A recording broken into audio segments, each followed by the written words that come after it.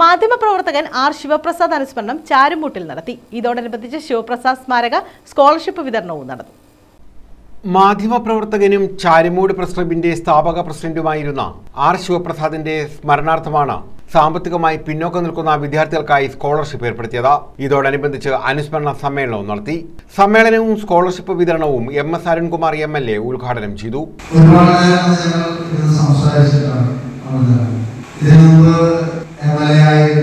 സമയത്ത് മൂന്നാൽ പ്രസീസ് ആനുകൂല്യമായി ബന്ധപ്പെട്ട ഒരു വിഷയം. ഒരു സംരക്ഷണം അവതരിപ്പിക്കണമെന്നുള്ളതുകൊണ്ട് ആ നിലയിൽ ആരോഗ്യത്തിന്റെ കാര്യങ്ങൾ ചോദിക്കണം ശിവപ്രസാദിനെ വിളിച്ചാൽ എന്നതാണ്. അങ്ങനെ ഞാൻ ശിവപ്രസാദിനെ വിളിച്ചു. ഒന്നര മണിക്കൂറാണ് അന്ന് ഞങ്ങൾ ഫോണിൽ ഞാൻ വളരെ വർഷങ്ങൾ മുമ്പുള്ള കഥകൾ. ഇതിന്റെ വികസനം അതിന്റെ പോരായ്മകൾ പ്രശ്നങ്ങൾ അതിന്റെ ചരിത്രം ഇതെല്ലാം അടുക്കടുക്കായി അവർ പറഞ്ഞു ഞാൻ press club president S Jamal അധ്യക്ഷത വഹിച്ചു.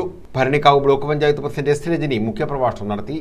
താമരക്കുളം ഗ്രാമപഞ്ചായത്ത് പ്രസിഡന്റ് ജി വേണു സ്കോളർഷിപ്പിന്റെ വിതരണോദ്ഘാടനം നിർവഹിച്ചു.